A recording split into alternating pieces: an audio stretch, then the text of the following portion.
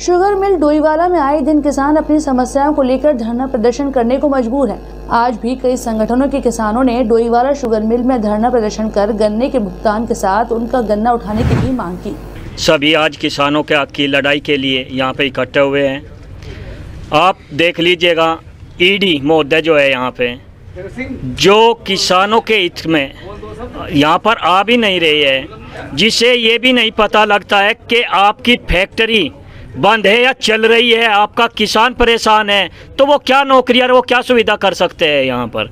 आज हमारा किसान बहुत परेशान हो गया है।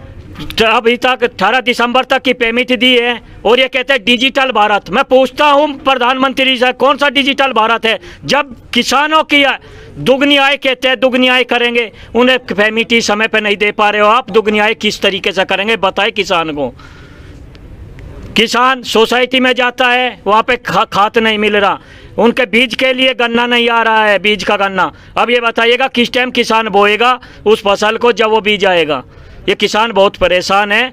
अगर इसकी सुनवाई यहाँ नहीं होती तो तालाबंदी कर किसान जो है आंदोलन तेरह महीने दिल्ली में चला था तो यहाँ पर चौदह महीने भी चला सकता है। किसान इतना कमज़ोर नहीं है। ये कान खोल कर सुन ले यहाँ का ईडी।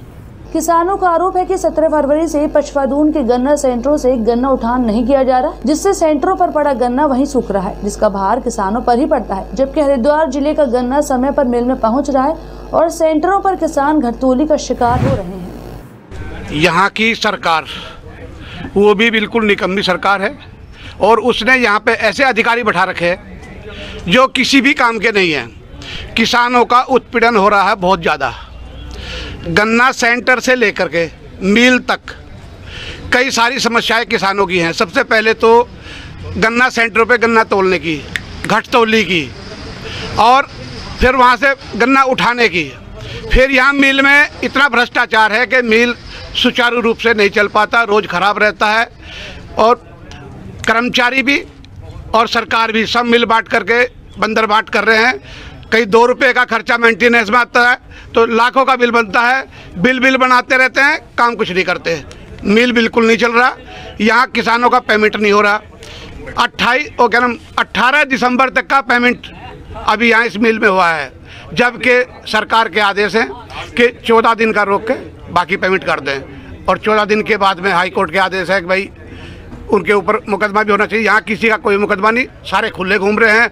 हम ये मांग करते हैं कि हमारा पूरा पेमेंट हो और नहीं तो इन सबको जेल के अंदर बंद किया जाए। मिल को जो है सुचारू रूप से चला जाए ऐसे अधिकारी यहाँ बैठाए जाएँ जो सही ढंग से काम करें।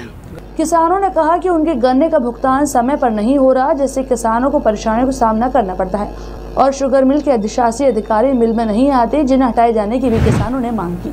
किसान आज यहाँ धरने पर बैठे हैं। इनकी मुख्य मांग गन्ना भुगतान की है।